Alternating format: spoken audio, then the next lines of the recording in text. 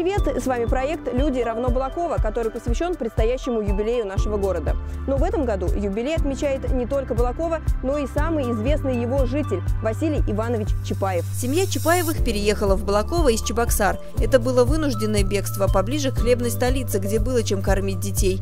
Отец Василия Ивановича работал плотником и учил ремеслу своих детей. Рядом с домом находится мастерская, в которой маленький Вася работал вместе с папой плотником. И это здание хотели снести, потому что оно очень ветхое, но тем не менее удалось доказать его историческую ценность. И поэтому пока мастерская на месте. Поселились Чапаевы на окраине Балакова, в Сиротской Слободе, где стояли одинаковые маленькие деревянные домишки. В этом небольшом домике и жил Василий Иванович вместе со своей семьей. И сегодня здесь происходит нечто удивительное. Давайте посмотрим, что.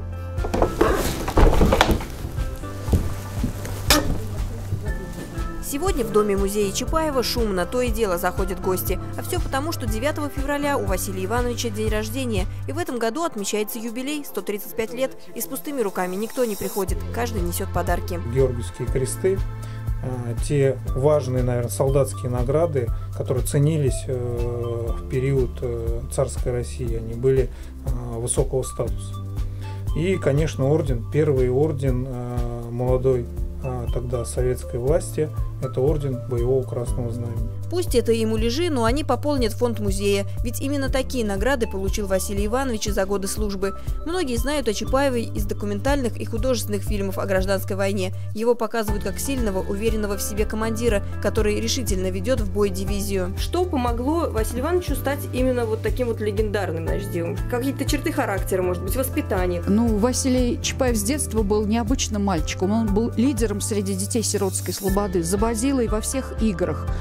Э, дети, которые здесь жили, выбирали его командиром во всех играх. Несмотря на то, что Василий был заводилой, он слыл очень ответственным мальчиком с повышенным чувством справедливости. Он любил учиться, но бросил школу в третьем классе, не мог терпеть, когда смеялись над его внешним видом. Наступил 1 сентября, мальчик переходит в третий класс, приходит э, в рубашке, с холщовой сумкой через плечо, в лаптях. Пацаны окружили, стали смеяться. Один говорит, ха-ха-ха, опять Васька Чапаев пришел в школу в лаптях. Другой говорит, да вы че, это у него модный ботинки в 24 клеточки. Когда школьный день закончился, он пришел и заявил, больше я в школу не пойду. Это было последней каплей, которая переполнила его терпение. Сменив холчевую сумку с тетрадями на инструменты плотника, Василий стал усердно помогать отцу. Они исходили пешком всю Саратовскую область, строили дома, церкви, мебель на заказ. Работа была крупная, работа была мелкая. В Балаково сохранился, на Чернышевского 112 сохранился дом, построенный братьями Чапаевым. Юный Василий был примером для многих своих сверстников. К его советам прислушивались, и именно Чапаев Чапаев смог превратить толпу дворовых мальчишек в театральную труппу. Их приглашали выступать даже в купеческие дома.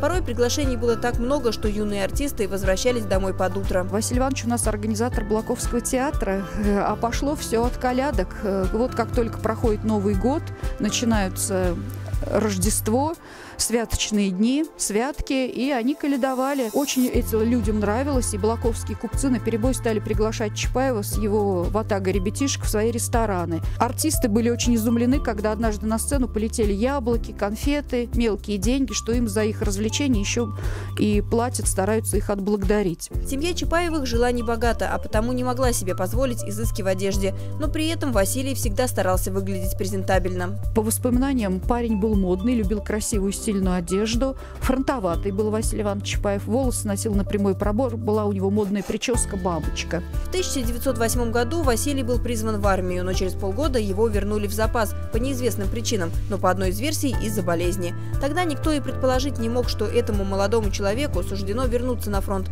что он войдет в историю, став знаменитым командиром. Очень его любили на фронте. Товарищ сразу его командование выделял, какой необычный солдат с инициативой.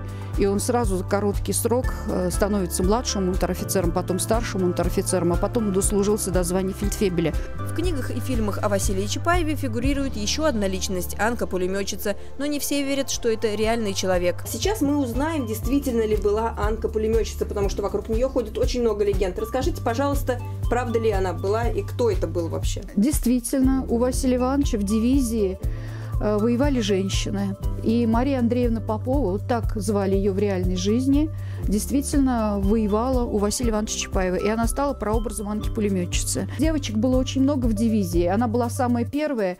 А кого Маша, Таня, Света зовут? Бойцы говорят, так мы всех не упомним. А давайте одинаково всех называть Анками. Жизнь Василия Чапаева была короткой, он прожил всего 32 года, но очень яркой. Вокруг него всегда были люди, готовые идти за своим командиром хоть в огонь, хоть на верную смерть. Василий Иванович мог остаться всего лишь одним из многих командиров гражданской войны, но история сделала свое дело, и Чапаев стал легендарным. Василий Иванович был и остается самой известной исторической личностью своей эпохи, человека, которым стоит гордиться. И такие люди делают наш город.